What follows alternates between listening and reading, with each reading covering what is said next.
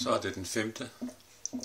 oktober, og der står 60, en 60 liters tank med æbler og gære. Og herover til venstre står der en mindre bøtte med varme 25 liter. Den har gæret en uge, og den anden store tank her, som er ny, har gæret i mindre end 24 timer, så den skal stå i 2-3 uger endnu. Sådan er det. Yves René Cairo.